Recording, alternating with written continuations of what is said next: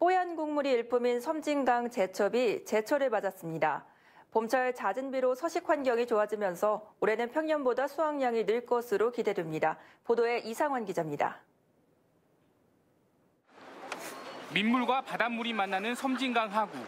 어민들이 허리까지 차오르는 물에 들어가 강바닥을 거랭이로 긁어 올립니다.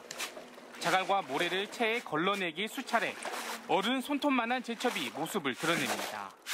강물에 들어가 4, 5시간 동안 온몸을 움직여야 하는 고된 작업이지만 어민들은 힘든 줄 모릅니다. 이걸로 벌어가지고 저희가 생활비도 쓰고 아이들 교육도 시키고 또 부모님 공양도 시키고 또 우리 연 저기 노후 자금도 마련하고요. 뿌듯하죠. 10월까지 계속되는 제첩잡이는 살이 통통하게 오른 지금이 제철입니다. 담백한 국물에 쫄깃한 식감까지 뛰어나 전국에서 주문이 쇄도하고 있습니다.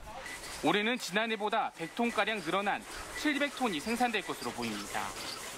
올해는 봄철 어, 비가 자주 오고 종폐가 많이 일어서 어, 올 전반적으로 올 가을까지는 어, 수확량이나 어, 제첩이 많이 늘어날 것으로 예상하고 있습니다. 30kg 한 포대의 가격은 10만 원 선.